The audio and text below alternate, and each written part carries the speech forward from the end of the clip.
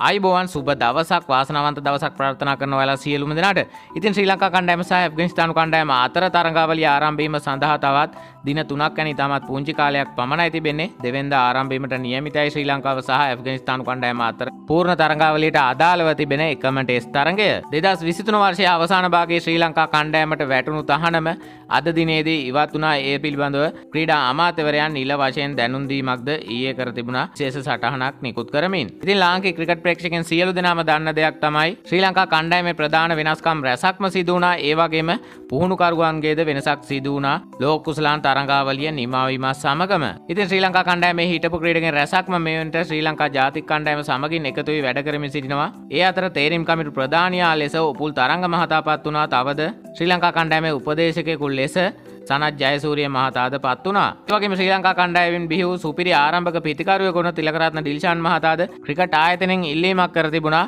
පිතිකරන පුහුණුකරු දූරය ඔහුට ලබා දෙන ලෙසට. නමුත් නිමවුණු සිම්බාබ්වේ තරංගාවලියේදී ශ්‍රී ලංකා කණ්ඩායමේ පිතිකරන පුහුණුකරු දූරය පැවරුනේ ශ්‍රී ලංකාවේ හිටපු ක්‍රීඩකයෙකු වන තිලින කණ්ඩම්බි මහතාට. තිලකරත්න ඩිල්ෂාන් මහතා විසින් එම තනතුර ඉල්ලුම් කිරීමෙන් පසුව ඔහුගේ ඉල්ලීම ප්‍රතික්ෂේප කිරීමට නියමිත බවට මේට ක්‍රීඩා අභ්‍යන්තර ආරංචි මාර්ගවලින් අප වෙත ලැබී තිබෙනවා. ඉතින් ඒ සම්බන්ධයෙන් ලිඛිතවම ඔහු ලෙස ශ්‍රී ලංකා ක්‍රිකට් ආයතනයේ තීරණය යොමු කිරීමට නියමිත බවටයි එම තොරතුරුවල වැඩි දුරටත් සඳහන් වෙන්නේ. ඉතින් ශ්‍රී ලංකා කණ්ඩායම සහ ඇෆ්ගනිස්තානු කණ්ඩායම අතර තරඟාවලියේ යාවත්කාලින වන තොරතුරු සමගින් රැඳෙන්න අපේ නාලිකාවත් එක්ක ඔයාලා සියලු දෙනාටම සුබ දවසක්.